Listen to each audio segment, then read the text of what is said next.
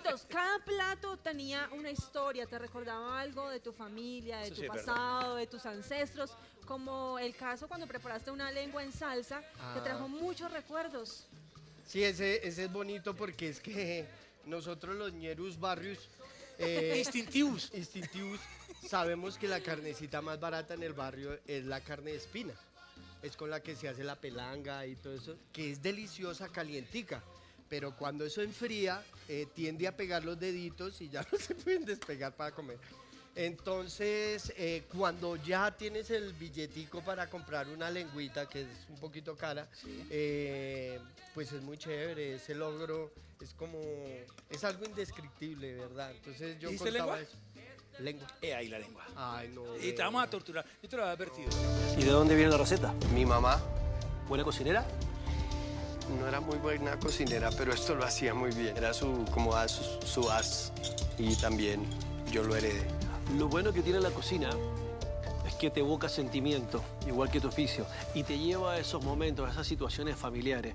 A ese día cuando te sentabas en la mesa, me imagino que de pequeño, y comías ese platito que hacía tu madre. Sí, sí, ese recuerdo me llegó porque a nosotros lo que nos, nos daban al comienzo es lo que queda de la lengua hacia atrás, que es la carne de espina, porque venimos de un barrio muy humilde y un pueblo muy humilde.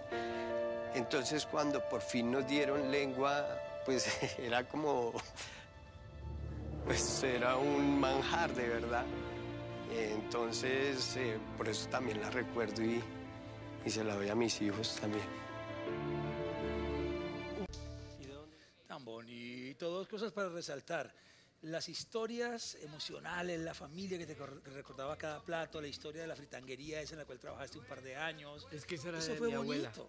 Esa era de mi abuela. Eso le dio un toque especial a tu, a tu participación. Sí, claro, porque de todas formas la gente sí veía representado como en, como en Carlitos ese barrio, el pueblo, la cocina común y corriente, ¿no? Y pues eso era lo que yo siempre peleaba con los chefs, ¿no?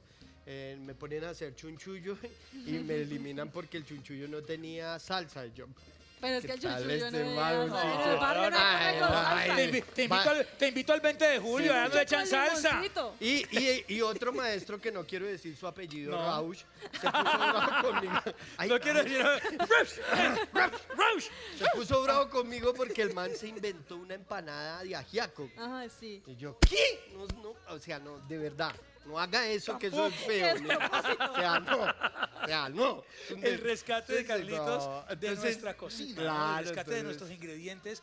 eh, eso vamos mucho más allá, ¿no? es filosófico, es, es- no. Es O sea, nuestro. ¿Usted cómo cambia la empanadita de, de- de barrio con, con el picantico, con la carnecita? La papita no, la por papita, dentro. o sea, todos, en todos, en toda Colombia tenemos nuestra empanada. ¿Qué tal las empanaditas Venga, venga, de allá? pongámosle un Las poquito de queso bayunas, encima. Ah, no, no, pero fundámoslo un poquito. Para que se derrita un poquito. ¿Lo fundimos Fundamos- solo aquí? Sí, sí, un poquito, Un ahí. poquito lo fundimos. Carlitos, decías que tu mamá no era muy buena cocinera cuando te preguntaron, pero que en especial ese plato de la lengua en salsa sí le quedaba muy rico. ¿Por qué crees que ese sí le funcionaba? Eh, yo creo que es como el instinto de por fin comer algo bueno, ¿no?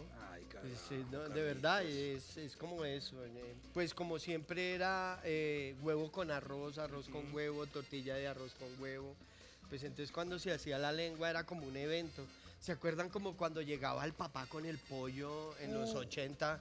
que bueno, El pollito decía, asado. El pollo asado, ¿no? Eso es, ay, es quincena o mi papá viene como tocado porque era como, era como el, el, el pararrayos. Claro que Entonces era, Yo creo que era eso.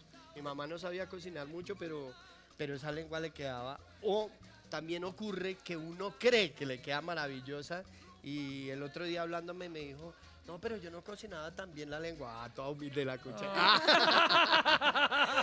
Creciste en el barrio 20 de julio, un Sí, barrio sí, de sí. mucha tradición. Te gusta ir a la iglesia del Divino Niño. Yo la conozco y es preciosísima. No, es espectacular porque además eh, el 11 de abril de 1967 nació allá en el 20 de julio un niño que después lo regalaron al Divino Niño. Es esta belleza. Este pechito. de pechito.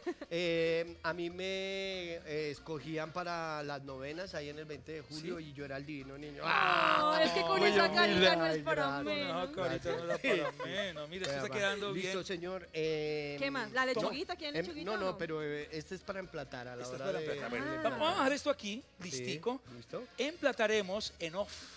Y en el siguiente bloque mostraremos cómo es una emplatada, porque la emplatada era fundamental, Carlitos, y era como tu tendón de Aquiles un poco. Sí. Te quedaba todo muy rico, muy Sí, sí. criollo, muy rico, pero a la hora de emplatar siempre te decían, no sé. Pues es que uno hace así, vea. Véalo. Eso es Carlos. Eso es Carlos. Es que, ¿usted qué más le va a emplatar? ¡Hijo!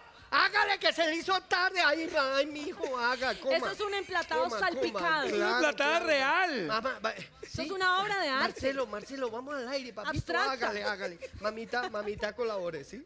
Cuidado. Entonces, ya, ya venimos, ya venimos con mucho que más ya- de y los manes, los manes, no, pero ¿cómo vas a emplatar así?